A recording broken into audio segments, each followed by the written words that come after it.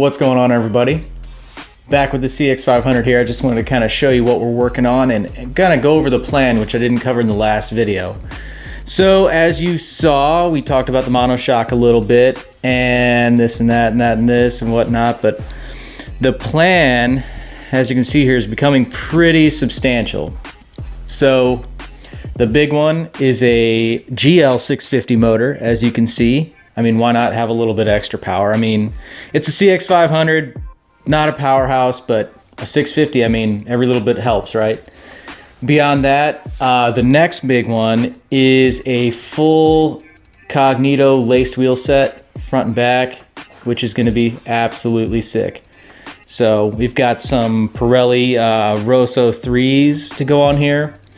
And then you can see I got the Renthals, the triples on the way from Cognito along with the bar risers. And then once we, you know, we'll swap the engine in, I'm going to do a lot of work on this tank. I'm actually gonna do a flush mount cap on here, do like a nice little subtle touch for this thing. And then, you know, we'll smooth some sections on the frame. I gotta build the subframe itself still and then I will brace the swing arm further.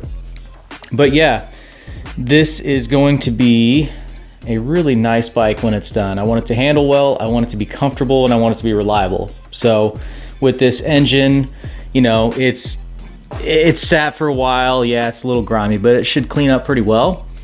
And then I actually have, uh, we went ahead and got a new stator and a new regulator rectifier, a high output MOSFET one from Rick's. And then I have like almost every gasket and seal for this thing too. So I'm gonna go through it and we're gonna do um, a whole lot of goodies to it, just making it fresh, making it reliable, and definitely not drip anything because that's annoying. But yeah, we're gonna go through this thing top to bottom, front to back, and it's gonna be awesome. So I'm still ordering a whole lot of stuff and some stuff is still on the way, but I'm gonna continue to work on this thing. Hopefully, like I said, a video a week, that's the goal. And the next thing I'll show you, uh, I'm gonna be working on the uh, tank position here. I've got some stuff you'll see right after this, but I'm really excited about this thing. It's gonna be fun. I've done a couple CX500s in the past and they've been a good time, but this one I'm really, you know, we're, we're going all out on. So 650 engine, full lace wheels, rear disc, big front discs. It's gonna handle, it's gonna stop. So it's gonna be it's gonna be great. But stick around. I think you guys are really gonna enjoy this one. So thanks for watching.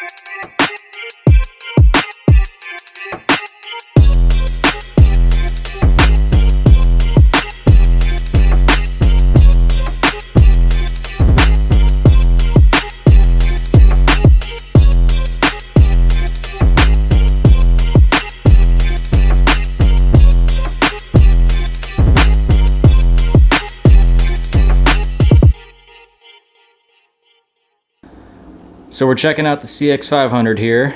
As you can see, I got the red shock on here, and that helps uh, raise the ride height up in the back a little bit and level out the engine to the ground, which is kind of what I prefer. But I can still uh, crank down on this a little bit more. You can see uh, I'm not at all the adjustments, so I can add a little bit more preload in there, raise it back up just a little bit more, which is all it needs. But for now, what I'm working on is adjusting kind of how I visually want the tank. And this position right here is actually using the uh, factory uh, front mounts in a sense. But what I don't like about them is that they're too high. So you can see the gap right there between the tank and the frame. So what I'm gonna do is I'm gonna end up cutting those off and then I'll drop the front of the tank down, hopefully about three quarters an inch, half inch, three quarter, you know, we'll see.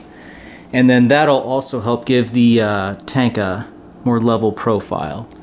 And then beyond that, you know, I'm gonna end up cutting this mount off the back and then we'll fabricate something completely new because we're gonna build an entire subframe for the bike. But yeah, gotta get that ride height, you know, gotta get that, that stance, make it look good. So yeah, it's gonna be awesome.